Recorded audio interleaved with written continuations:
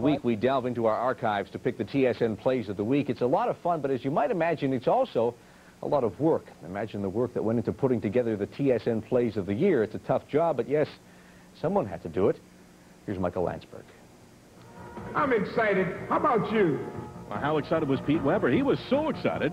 He kind of spiked his bowling trophy. But don't worry, he also won the Masters. Why else would he be wearing that kind of ugly jacket? This was the year of the return of the Savardian Spinorama, but also the Roenickian Spinorama and the Pinballian Spinorama. It was a Spinorama kind of year. Now, let's go to the hits of the year. Ken Hammond on Andrew Castles. Bad year for Castles because he also took it from Tom Chorsky.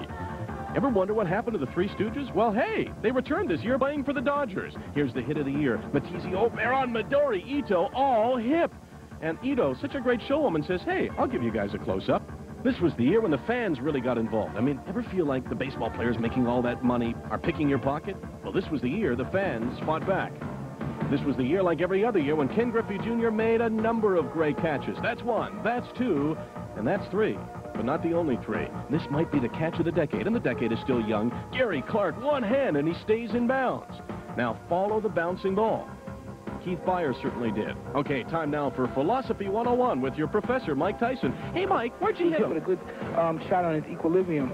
He knows he's a he's a good fighter, but I'm sure he knows man for man, he'll be outmanned. you know you're really a transvestite, you right? Oh, do have to sit there and this moron? Yeah, Mike, what kind of stupid stuff is that? Yeah, well, hey, I'll sue. Watch this guy here. He says, hey, this year I'm on TV. Hi, Mom, how you doing? Whoa! Now, this was the year where the coach said, hey, you on the bench, get in, but don't take the bench. Okay, here are our plays of the year. Texas high schooler Davina Barnes flew out of bounds behind her back. What a shot! This was the year where it was finally proven that whales can fly.